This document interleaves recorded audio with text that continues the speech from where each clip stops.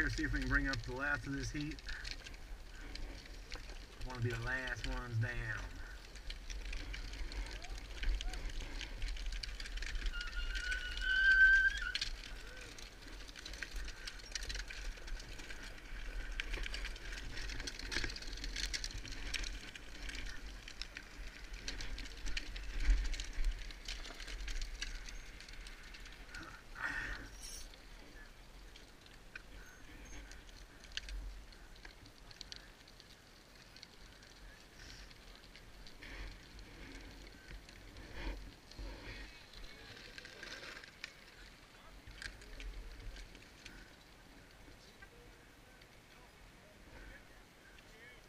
Hey, Robert.